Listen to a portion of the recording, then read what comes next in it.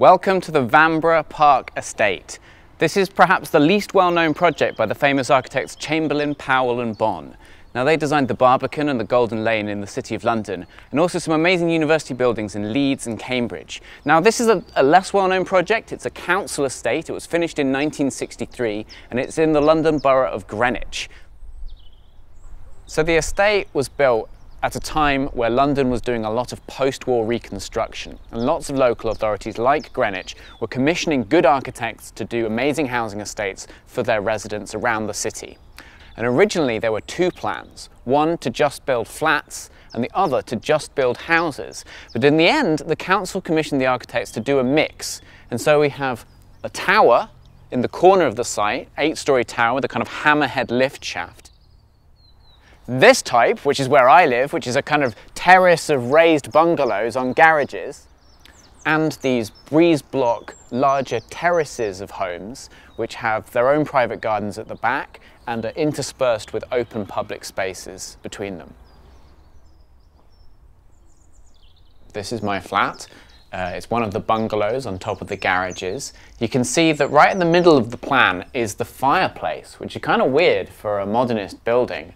Uh, but that sort of gives a, a kind of anchor to the living room. And then the kitchen kind of flows out into this space over this threshold, which is all part of the original design. It means that you have a very, very small plan, very compact home, it's quite a small space, but it still feels kind of open and airy and refreshing.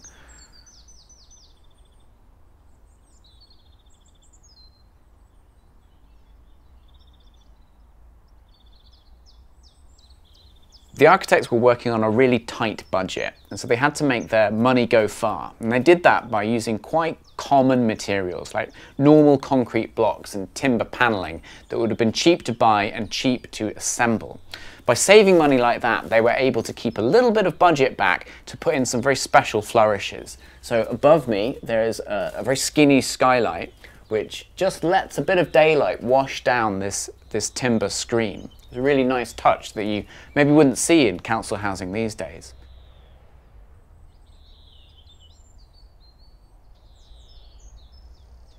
That's in the interior, but around the estate there's, there's similar flourishes like specially cast street signs and, and little arched lamp fittings for the street lights and some really cool kind of space age windows for the larger houses too.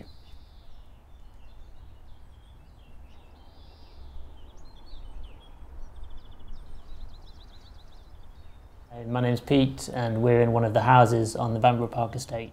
When you see the house kind of from the front, it's, it's quite a kind of closed, um, I guess, yeah, quite a closed facade and you don't necessarily expect, well, you, you expect it to be quite small and kind of pokey inside because of that. So when you do come in and it's this big open space with this, yeah, kind of the, the, the chimney leading you kind of like right at the heart of the house and leading you up, um, it's just, yeah, really unexpected and it, it feels really kind of um, an effective way of you know tying the space together. We've kind of um, tried to restore that area back uh, by kind of removing lots of 80s additions and knocking out the old gas fireplace and, and installing a wood burner. Um, because we, yeah, to us, that was kind of one of the first things that, that we did when we moved in. Because it's such, again, because it's just such a the key part of the house, and it's what really we fell in love with.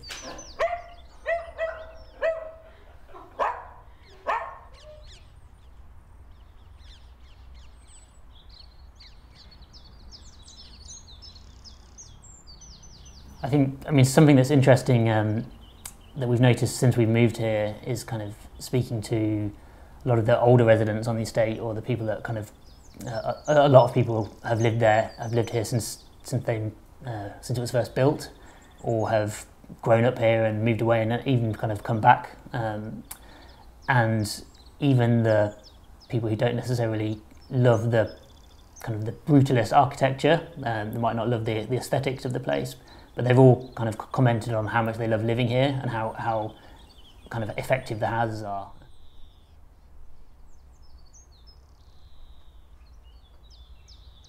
What can we learn from an estate like Vanbrugh Park today?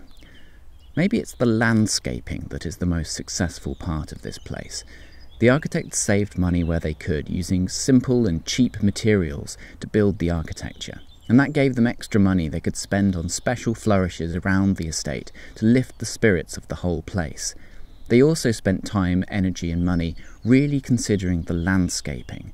Mature trees were retained wherever possible, and there are well proportioned open spaces that dot the estate, tying together the houses and the bungalow terraces. The majority of the estate is also pedestrianised, with cars kept to a single road that runs through, meaning the entire place feels safe, calm, and children are able to play freely without fear of traffic.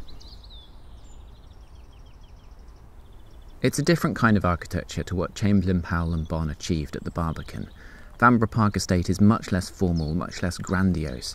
The design is somehow relaxed, very accommodating of residents who've made changes over time. In fact, their changes have added to the character of the place rather than detracted from it. But there are still recurring architectural motifs that tie the whole place together, especially at the edges. This brick wall forms a kind of pergola that runs along the back gardens of the larger terraced houses, and then between them, forming a kind of fake aqueduct that marks a threshold between the estate and the surrounding landscape.